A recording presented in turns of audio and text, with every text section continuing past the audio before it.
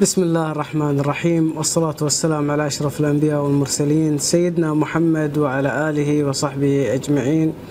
في البداية حاب أعرفكم عن نفسي معكم الأستاذ حمود العنزي طالب دكتوراه في جامعة نيوكاسل في المملكة المتحدة. سوف أقوم إن شاء الله بتدريس مقرر تقنيات التعليم ومهارات الاتصال ويعتبر مقرر تقنيات التعليم ومهارات الاتصال من أهم المقررات التي تدرس في معظم كليات التربية في المملكة العربية السعودية. أهمية تدريس هذا المقرر هو إكساب الطالب المهارات الأساسية التي يحتاجها في عملية تصميم وإنتاج واستخدام وتقويم الوسائل التعليمية.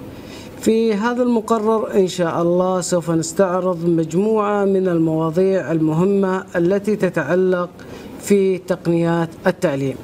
سوف نتحدث إن شاء الله في الجزء الأول عن الاتصال وأهمية الاتصال والتطور التاريخي لمفهوم الاتصال وكذلك عناصر الاتصال وما هي المعوقات الاتصال.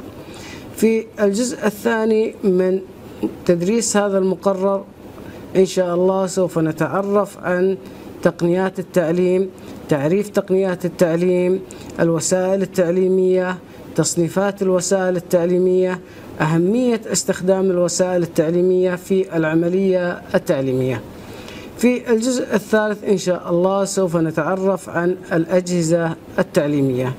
سوف نذكر إن شاء الله مجموعة من الأجهزة التعليمية والتي هي أكثر استخداما في الغرفة الصفية.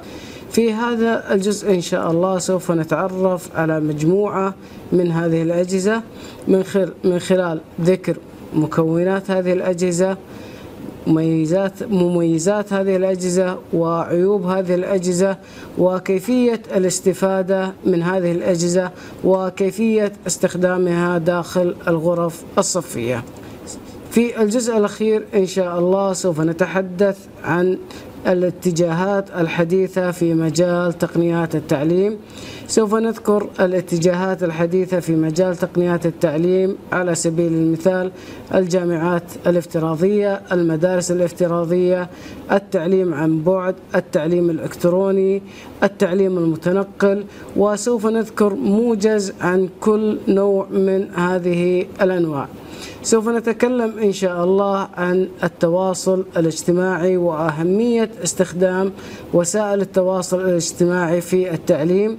ومن الأمثلة على هذه الوسائل وسائل التواصل الاجتماعي تويتر الفيسبوك الإنستغرام وغيرها من التطبيقات التي يمكن أن نوظفها في العملية التعليمية.